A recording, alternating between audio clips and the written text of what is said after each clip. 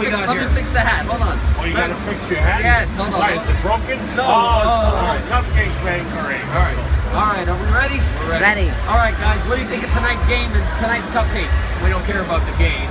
All right. First of all, we don't care about the game, so we just, we just, these are what we care about. These All right. cupcakes are unbelievable. Which one do you want, Sam?